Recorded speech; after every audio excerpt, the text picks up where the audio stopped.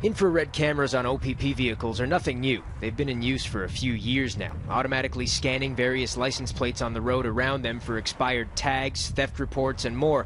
And as of now, they can find out with 92% accuracy if you or someone around you is driving with a suspended license. Uh, we really think this technology is going to help us a great deal. There will also be more equipped vehicles on the highways. The OPP fleet of four is growing to 27 province wide, eight in the GTA. Here's how it works, as demonstrated by Sergeant Brian Humber in this simulation video provided by the OPP. The camera gets a hit on a plate related to a suspended license. High priority alert.